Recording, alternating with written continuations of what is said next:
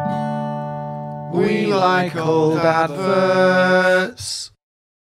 Hello, everyone, and welcome to We Like Old Adverts. It does exactly what it says on the tin. We love old adverts. We hope you do too. And if you don't, we don't care. Find another YouTube channel. My name's Joe Deeney. I'm joined by Jim Campbell and my brother Conal Deeney. Yeah, if you'd like to send us in a little video, by all means, give us a suggestion of the advert you'd like us to review. Send a little video of about 15 seconds, and we'll see if it's good enough to go on. We're going to start with our first one. It is all the way from the United States of America. And it's a suggestion from my good friend Amanda Leet.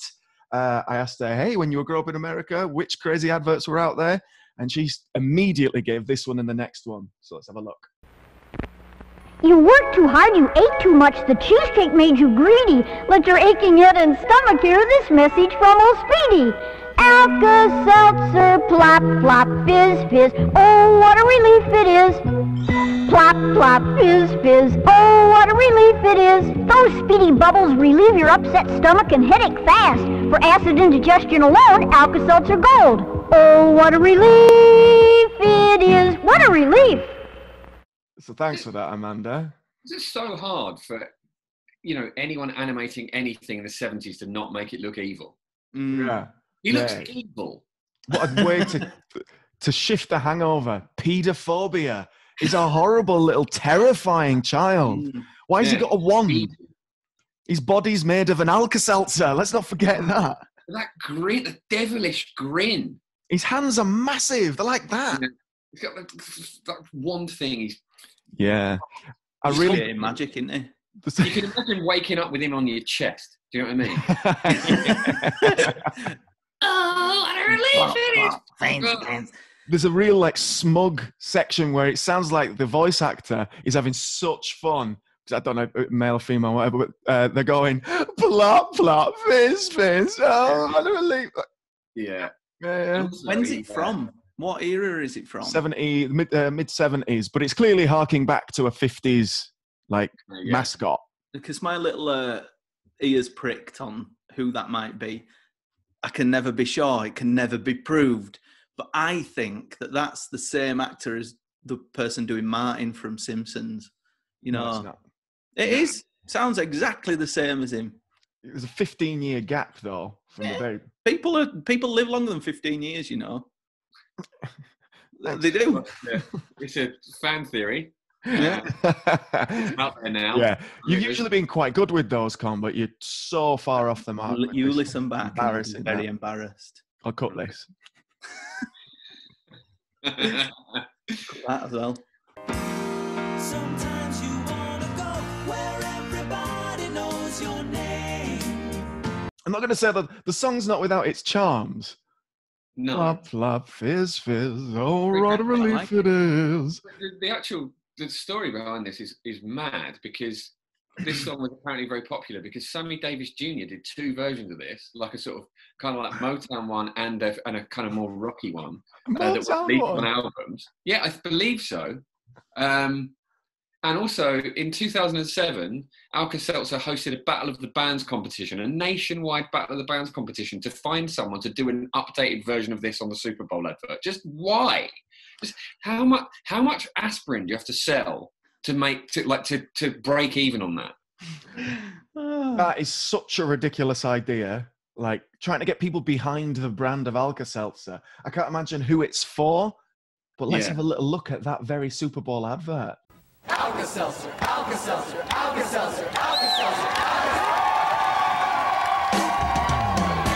blah fizz fizz.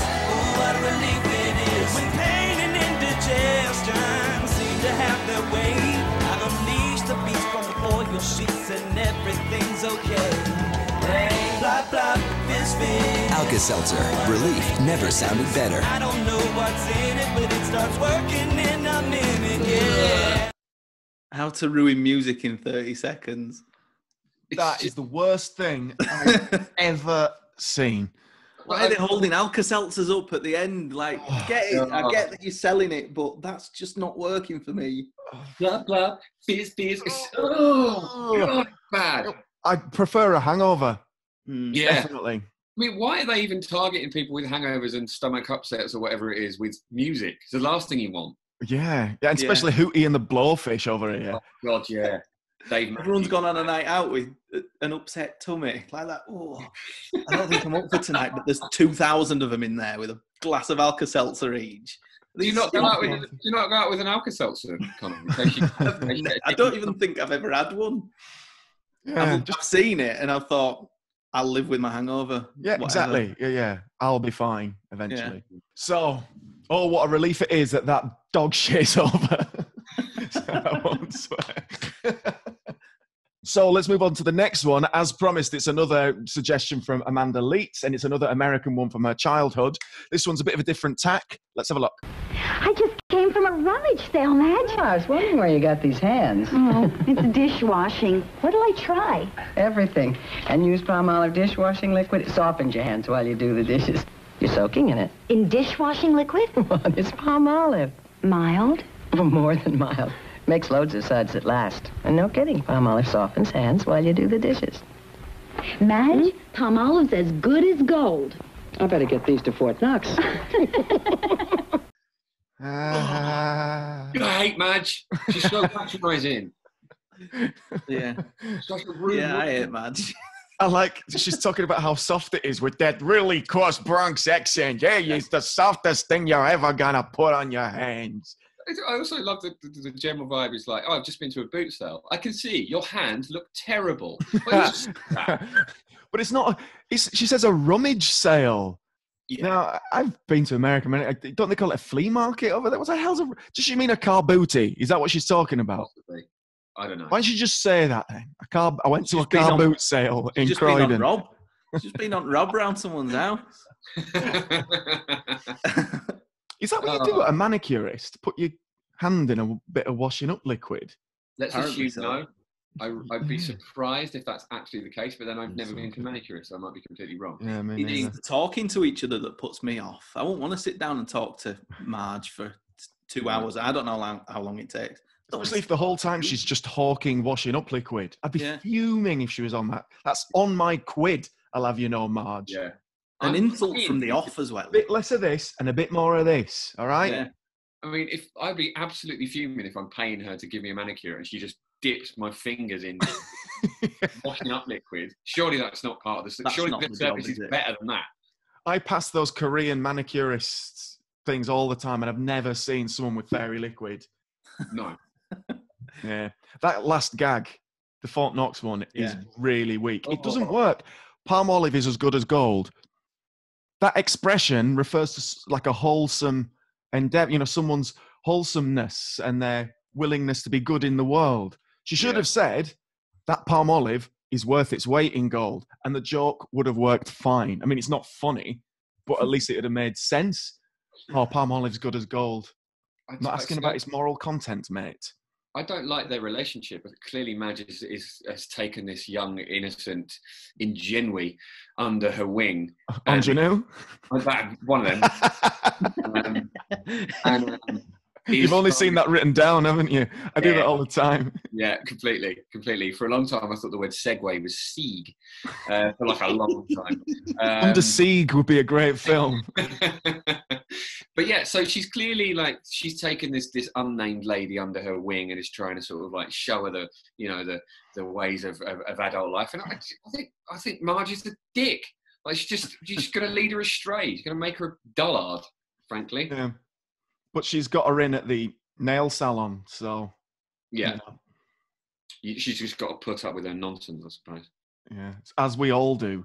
So thanks for those, Amanda. We um, your childhood in America sounded hellish, but uh, yeah, let's move on to our third and final advert. It's going to be for a product very close to Conal and my heart. Here it is.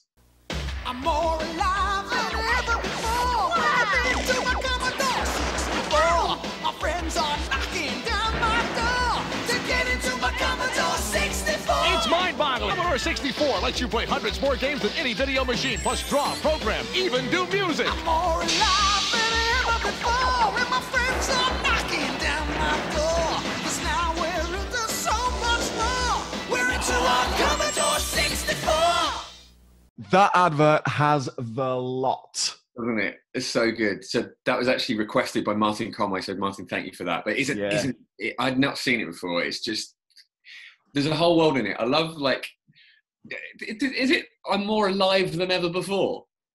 when, when I'm into my Commodore 60. I love that. That's quite poetic, really. And also, you've got all these things in the in the bedroom, like his acoustic guitar, and Yeah. his dartboard, and all these things he's now abandoning to just sit in front of his computer. I don't think he's as as alive, to be honest. I like the idea. I am so alive now. I've got this Commodore 64. At no point did they show him. He puts his sunnies on, puts a cassette into the little thing and presses play, and it takes five minutes going to load any kind of to load Monty on the Run, which is one of the best games ever made, by the way.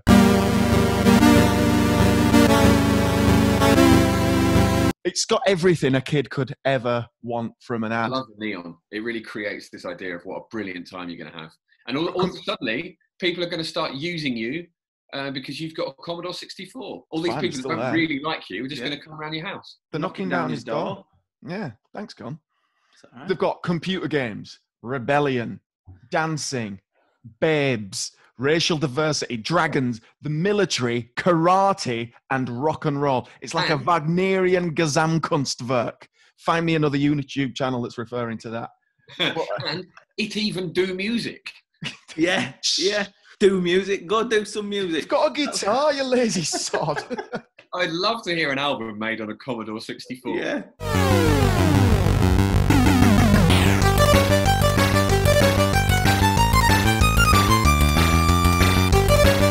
Did you see the kids dancing in the background? Like The best time. it's like Studio 64. Yeah.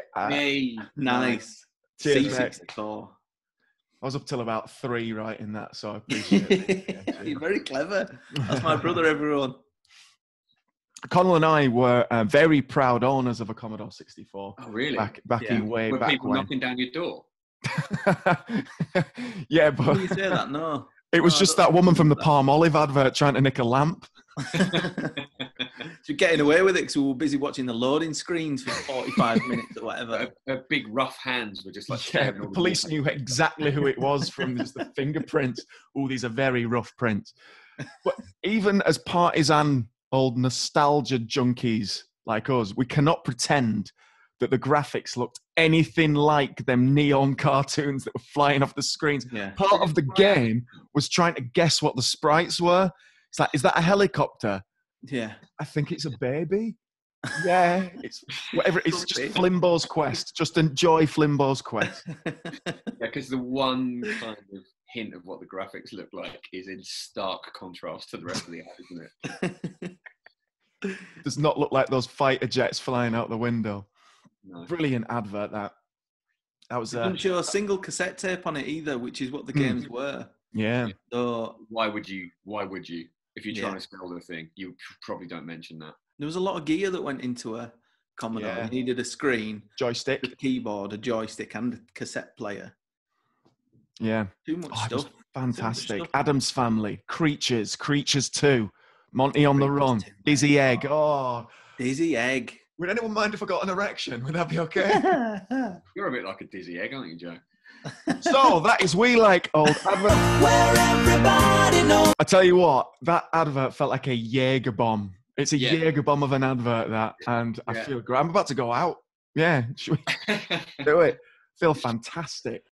Let's wrap that up there. Uh, thank you very much, everyone, for watching We Like Old Adverts. We've had a gorgeous time, haven't we, darlings? oh yeah. yeah.